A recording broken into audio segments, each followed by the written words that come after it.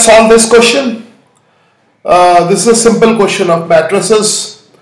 Uh, just compare the elements.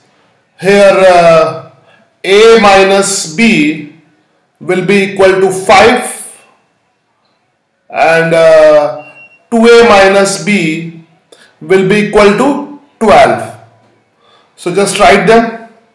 2A uh, minus B equal to 12 and uh, a minus b equal to 5 okay?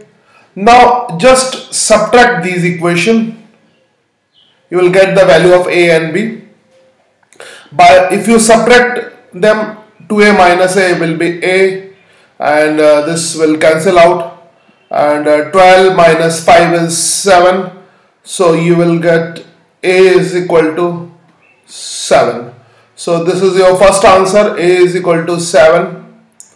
Now uh, you can put the value of A in this equation.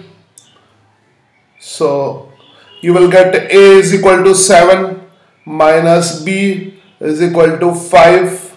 So you will get uh, B is equal to 2. B is equal to 2.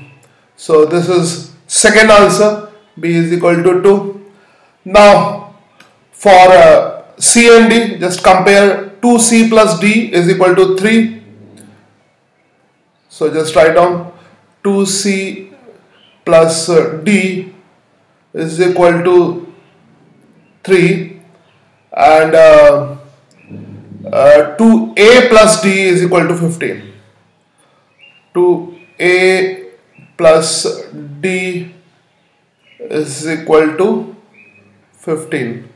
Uh, so we have found the value of A. Take this equation 2A plus D.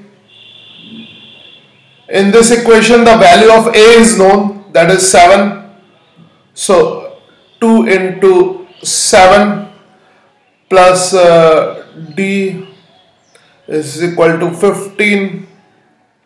So we will get uh, 14 plus D. 14 plus D is equal to 15 so we'll get D is equal to 1 so we have got D is equal to 1 now uh, from this equation you can find the value of C. So take this. 2C plus D plus D value of d is 1 is equal to 3 that means uh, 2c is equal to 2 that means uh, c is equal to 1 so this is the final one. Okay. A7 b2 c1 d1